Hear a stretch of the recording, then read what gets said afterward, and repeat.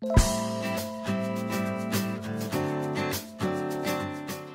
กรสอนเปิดใจเลขเด็ดเข้าเป้าสี่งวดติด เผยพุ่มพวงเคยพูดถึงเจ้ามือหวย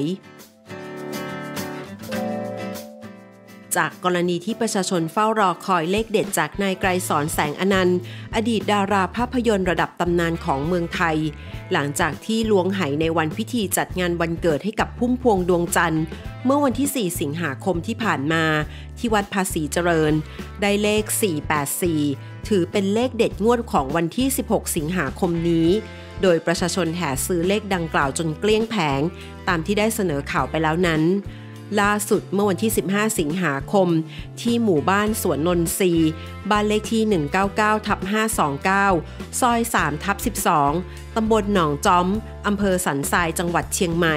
บ้านของนายไกรสอนแสงอนันต์ ซึ่งวันนี้นายไกรสอนได้ให้ช่างมาจัดการกับสายเคเบิลสายโทรศัพท์ ที่พรุงพรังบริเวณหน้าบ้าน ตัดแต่งกิ่งไม้ที่พาดกับสายไฟและเสาไฟฟ้าหน้าบ้าน ให้เข้าที่เข้าทางและให้เรียบร้อย นายไกสอนเปิดเผยถึงเรื่องที่เลขเด็ดเกี่ยวกับพุ่มพวง และตนเองรวมทั้งลูกเพชร เลขเด็ดเข้าเป้ามาถึง4งวดรวด โดยมางวดนี้คือหมายเลข 484 ก็ขายเกลี้ยงแผงไปนานแล้วว่า ก็เหมือนกับที่เคยบอกกันทุกๆ ครั้ง พูดกันทุกๆ 15 วัน ความจริงไม่อยากให้แฟนคลับหรือประชาชนหมกมุ่นในทางเสี่ยงโชคมาก แต่ก็อย่างว่าภาวะเศรษฐกิจและการทำมาหากินที่ยากลำบากขึ้น บางครั้งอย่างน้อยแฟนคลับประชาชนก็มีความหวัง ตนไม่ได้สนับสนุน โดยเฉพาะน้องเพชร ยิ่งไม่อยากให้ทุกคนมาสนใจทางนี้มากนายไกรสอนกล่าวต่ออีกว่า จะซื้อหวยรัฐบาล 1-2 ใบ ช่วยรัฐบาลเสี่ยงดวงกันไปมาก็ไม่เป็นไร ในช่วงมีการจัดพิธีทำบุญวันเกิดให้กับพุ่มพวง เมื่อวันที่ 4 สิงหาคมที่ผ่านมาที่วัดภาษีเจริญ และน้องเพชรไม่ยอมล้วงไปจับเบอร์ในไหเหมือนครั้งที่มีการทำพิธีทำบุญครบรอบวันเสียชีวิตพุ่มพวง เพราะว่าปาฏิหาริย์ไม่ได้เกิดขึ้นบ่อยๆ น้องเพชรเปรยว่าปีหนึ่งขอจับสักครั้งเดียว และจะขอแม่พุ่มพวง ก็ให้เป็นวันครบรอบวันจากไป จะได้รำลึกแม่ แฟนเพลงจะได้รำลึกถึงพุ่มพวงดวงจันทร์ เท่าที่ผ่านมา 28 ปีจะออกเกือบทุกงวด จะก่อนนิดนึงหรือหลังนิดนึงต้องออกแน่นอนเกี่ยวกับพุ่งพวงดวงจันทร์ เป็นแบบนี้มาตลอดเวลาเลย แต่คราวที่งวด 967 งวดที่ดังๆ เข้ารางวัลที่ 1 เป๊ะ เป็นกรณีพิเศษที่ผมเองได้ตั้งจิตอธิษฐานขอพุ่มพวงดวงจันทร์ นายไกสอนกล่าว นายไกสอนกล่าวต่ออีกว่า น้องเพชรยังบอกด้วยว่า ตอนนี้แฟนเพลงแฟนคลับก็ทำมาหากินกันไม่ค่อยได้ โรคระบาดโควิด -19 ทำให้ลำบากกัน จึงมีการอธิษฐานจิตขอเป็นกรณีพิเศษที่ผ่านมา มาคราวนี้งวดที่จะออกในวันที่ 16 สิงหาคมนี้ ได้มีการจัดพิธีทำบุญวันเกิดให้กับพุ่มพวง เมื่อวันที่ 4 สิงหาคม ปู่ปยาก็ได้ส่งเค้กวันเกิดมา น้องเพชรไม่ได้ล้วงหายที่วัดภาษี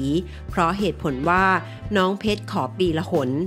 นายไกรสอนกล่าวต่ออีกว่า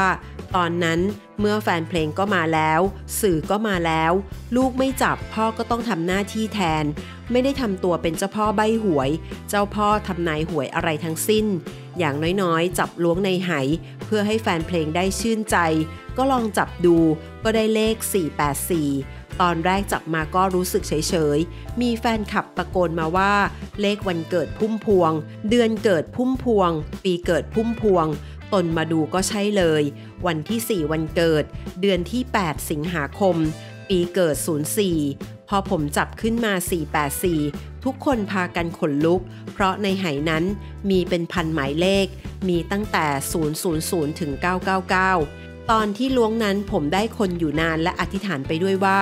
คุณพึ่ง ลูกจับไปแล้วโดนเต็มๆ เพราะผมเคยจับมาแล้วโดนสองตัว คุณพึ่งมักจะให้สองตัวกับพ่อ ส่วนลูกเพชรจะให้โชคสามตัว ในทำนองนั้น ครั้งนี้ผมจับมาได้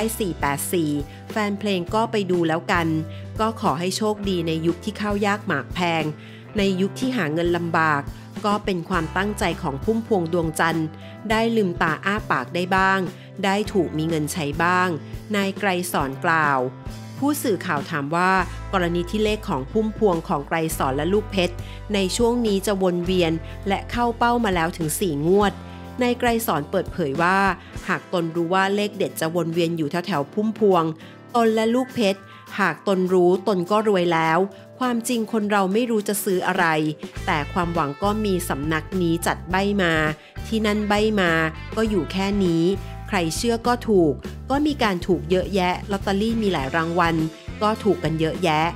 นายไกรสอนกล่าวต่ออีกว่า ที่ผ่านมาสี่งวดที่วนเวียนอยู่กับพุ่งพวง กับตนกับลูกชาย ก็มีการล้วงไหครบรอบการจากไปของพุ่มพวง น้องเพชรล้วงไหได้เลข 967 เลขทะเบียนรถของตนสองคันที่เชียงใหม่ คือหมายเลข 9678 และ 8347 เลขที่บ้านที่เชียงใหม่ 199ทับ529 เลขที่คอนโดที่กรุงเทพ 492 ก็ออกบนเวียน ก็ถือว่าเป็นปีทองของพุ่มพวงที่มอบโชคให้กับแฟนเพลงได้ถูก หากพุ่มพวงมีชีวิตอยู่ตอนนี้ ก็จะมีอายุ 59 ปี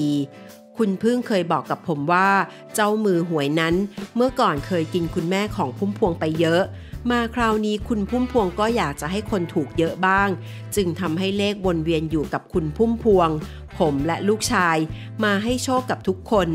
ก็ขอให้โชคดี นายไกรสอนกล่าว ขอขอบคุณข้อมูลจากข่าวสดอย่าลืมกดติดตามพร้อมทางกดรูปกระดิ่ง พื่อแจ้งเตือนทุกครั้งที่มีคลิปใหม่ ๆ จะได้